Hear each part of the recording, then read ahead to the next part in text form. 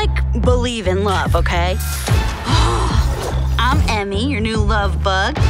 Nothing personal. We're just not big on love. Right, Sarah? Yeah, love's so complicated and messy. How dare! Hey, if you're mad, then why did you do the sexiest possible thing to me? Paul Crumhorn, his wife of nearly 40 years, is gone.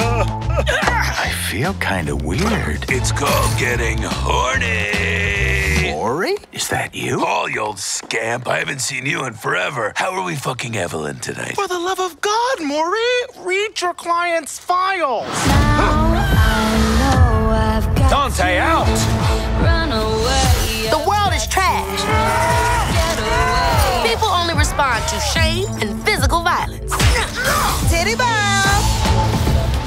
I plan to become a shame wizard. What? Shut the door. I'm burning us all up. That actually went better than I thought it would. Yes, but my office is burning. Everything is hopeless. I know how scary it is when hope disappears. yeah! But hate can't protect you.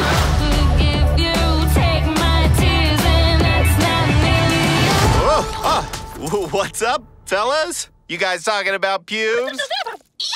oh, no, no, no!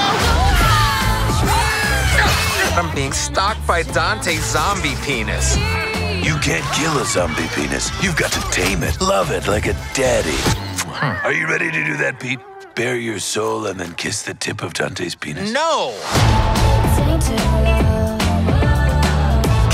I am morally obligated to tell you, you can never reuse a condom. Unless, of course, those condoms are Dr. Maury's reusable dong sleeves. The hog hat's so nice, you can junk in them twice.